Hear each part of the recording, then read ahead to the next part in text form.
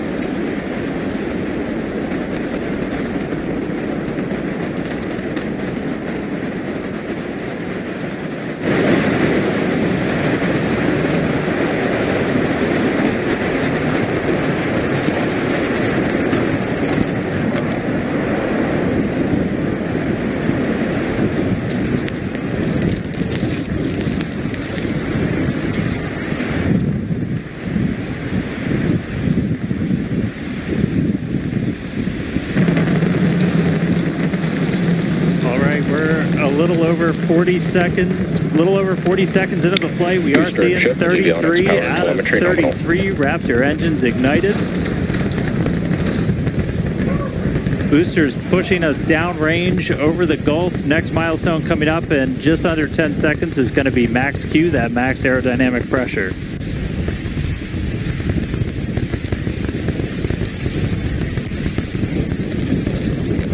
Max Q.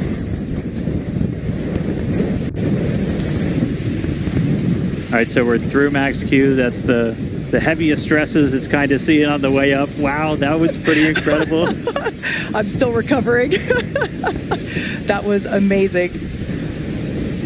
Beautiful views of the vehicle on ascent, pitching downrange away from the launch tower. And we are seeing Excellent. 33 healthy Raptor engines, if I might say that. And the booster ascent looks to be good so far. And we are, I mean, Alex, so far, so far, so good, right? We are, everything. Yeah. looking good. We are about 30 seconds away from hot staging. Yep. Next up should be hot staging. That hot staging will be uh, 30 engines shut down and then uh, se- uh, ignition of the uh, ship engines and separation of the booster. There Watch out for the grid the, fins uh, to turn. Yeah, everything looking good here on the Raptor engines on the left. You watch for that very violent boost back flip. You will see that after the, that. That's expected, um, but it looks quite interesting. That's the preparation for hot staging. That's hot staging, Yep. From our and I cameras. think there's the boost back. Look at that flip. Wonderful. oh, that the boost flip. back turn start. That was an interesting flip, but I think that looks good on the boost back. Yeah, that looks good, right? Looks like two engines might be out on the boost up, Okay. on the boost back burn. We will uh, await confirmation what that means for the catch. Of course, SpaceX will say something that, again, the flight director needs to confirm a go for catch. That is the requirement. We also see six healthy engines on ship 34 right now, which is, of course, Still their main like objective. go for for return, but obviously they are checking all of the parameters. And remember, the last time we had an engine out as well, and that was not something that stopped them from going for a catch. So that doesn't mean anything yet. Still go for catch, apparently. And we are still looking at a booster returning, awaiting final confirmation from SpaceX for go for catch. That usually happens after the shutdown of the boost back burn is where they confirm. Also look at the ship. Look at continuously if all engines uh, You can ongoing. see. Look right over where the center engines are. You can see the the, the purple hue there. Oh yeah. And we are awaiting final catch go. Still so good. Far so far so Yeah. good. Everything good, everything good. We like to see what we, like everything looks to be okay right now. Of course, the final okay There's will be hot done by staging ring director. separating. Look at that. Oh, it's floating away. And we are now usually at the frame where they commit for a catch. We have not heard anything of the contrary yet. And the catch would be in two minutes from now. And let's see. The boost background might be a bit late because two engines were out, so might maybe had they have Yeah. corrected a bit. So maybe the timeline is a bit off, but uh, Some of the times might be off precisely because of that. Those two engines out, of course, will uh, affect that timeline. But I have not heard any callouts that they are not going or anything. Still yeah, I mean, for it. honestly, that booster is starting to aim now. So looking like they might do go for it. I want to jinx it as a commentator here. That's but a that funny looking hot staging ring. But that booster looks to me like it's on track for the tower, Alex. Yeah. Let's see that reentry. Watch out for the engine glow because that aft end gets very hot during the reentry. Does not do any entry burn. Look at that tracking. Amazing. Oh, there's the glow coming. There it comes. There are go for booster catch. Still all going. They are. There, look at that glow, Alex. Fantastic views. That's so cool. Watch for the uh, engines to ignite, and then they will shut down all but three for the final approach to the tower.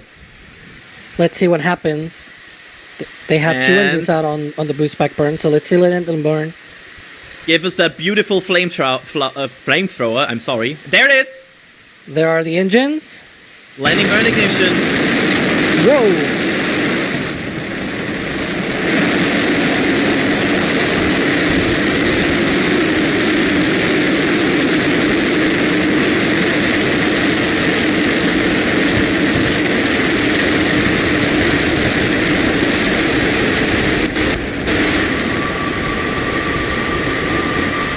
And catch. Okay. Welcome. Wow.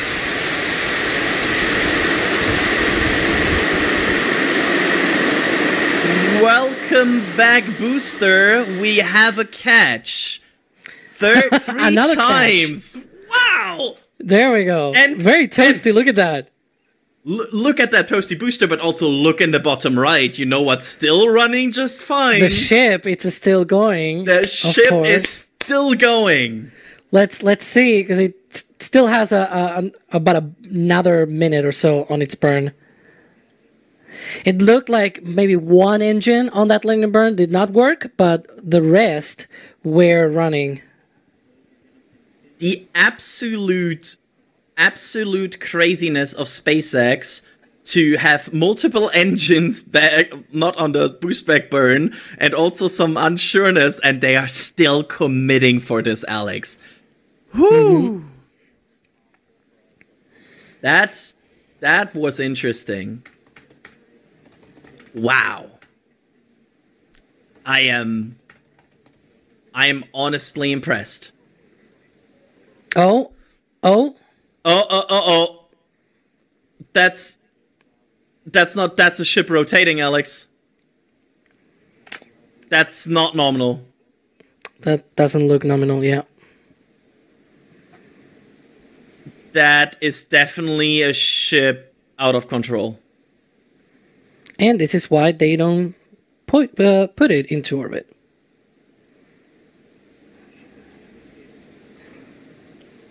That So we're still Looks getting video down from rather the ship. You can see interesting. We've lost several engines and we've lost attitude control. It's tumbling. vehicle.